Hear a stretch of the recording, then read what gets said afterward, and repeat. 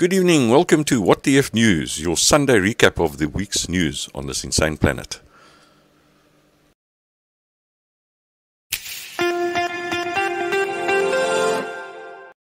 First up, Joe Biden was in three states today unconscious, semi conscious, and confused.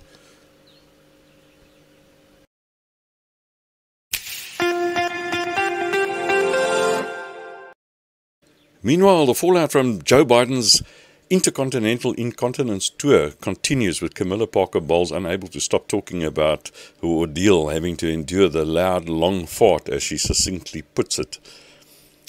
It seems the trauma left as big a mark on Camilla as it must have on Joe Biden's pants.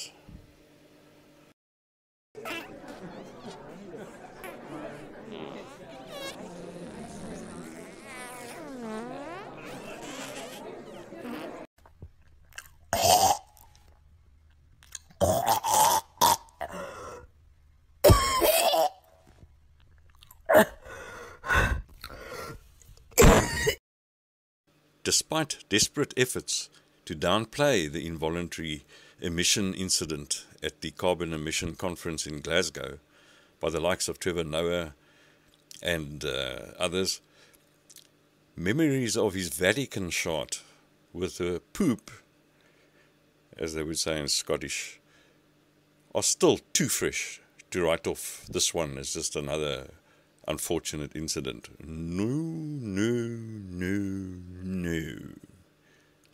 Not after this leaked recording of him clenching in vain once again. Told uh, us at a town hall, I think it was in July, that the in, this was just near-term inflation the Wall Street Journal recently talked to like 67 uh, financial experts who said that they, they saw high inflation going all the way or deep into 2022.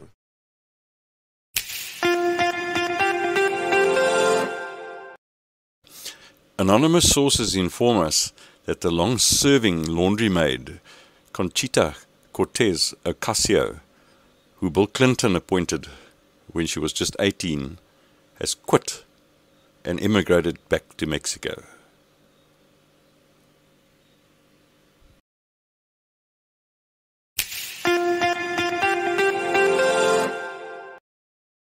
News of Biden's windbreaking tour of Europe sparked a trend in China over English bowel terminology. The Chinese Education Ministry put out this video last week. Take a look.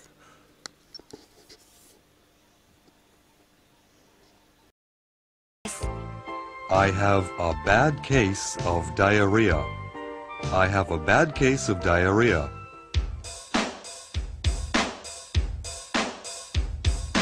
I have a bad case of diarrhea. I have a bad case of diarrhea. I have a bad case of diarrhea. I have a bad case of diarrhea.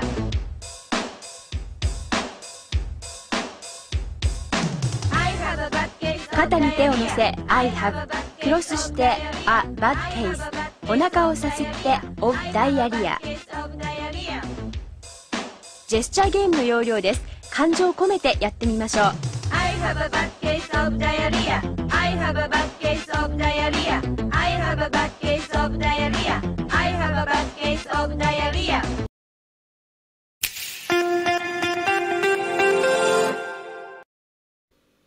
In other news, the rant between Rand Paul and Dr. Fauci entered its 600th consecutive day, with each of them accusing the other of lying, which means that one of them must be, by absolute default of logic. They certainly both can't be telling the truth, but it cannot be excluded that they're both lying. Think about that.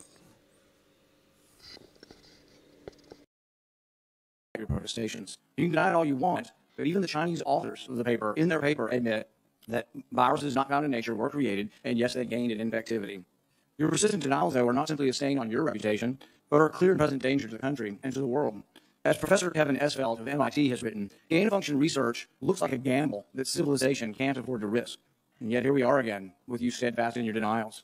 Why does it matter? Because gain of function research with laboratory created viruses not found in nature could cause a pandemic even worse than next time.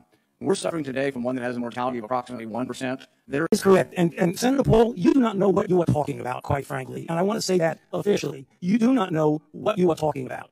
Okay, you get one person. Speak to the NIH function. This is your definition that you guys wrote. It says that scientific research that increases the transmissibility among animals is gain of function. They took animal viruses that only occur in animals and they increased their transmissibility to humans. How you can say that is not gain of function? It is not. It's a dance, and you're dancing around this because you're trying to obscure responsibility for four million people dying around the world from a pandemic. And, and let's listen, Dr. Fauci. I have to. Well, now you're getting into something. If the point that you are making is that the, the, grant that was funded as a sub award from EcoHealth to Wuhan created SARS-CoV-2. That's what you are getting. Let me finish. We don't know.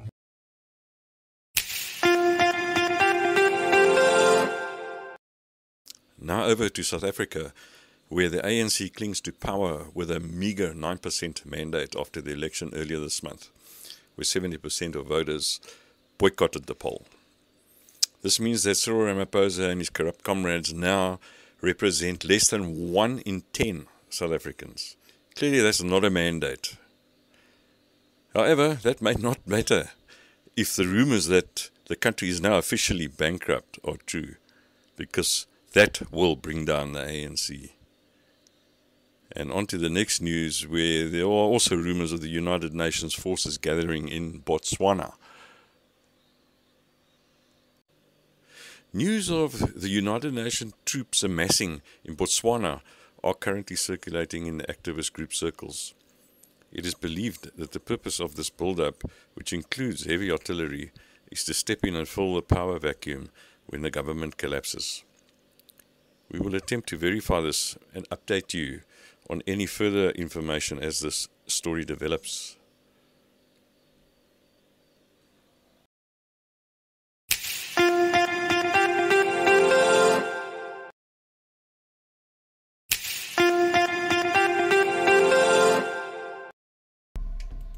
To end off this bulletin, something for the ladies. The latest fashions from Paris and Milan. Matching masks and outfits.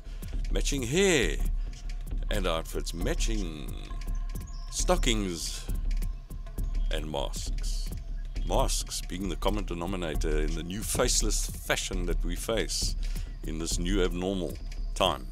This is not going to go away, folks. It Looks like this is here to stay. Get used to it. The faceless generation, the faceless lifestyle.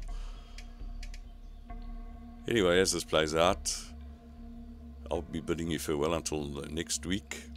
YouTube only allows me 10 minutes uh, per video, which is fine because I think anything longer than that is, is pointless. So you should be able to do your uh, reporting in, in 10 minutes. And uh, we will be back next Sunday and uh, with the week's breaking news. Thanks for watching. See you again next Sunday.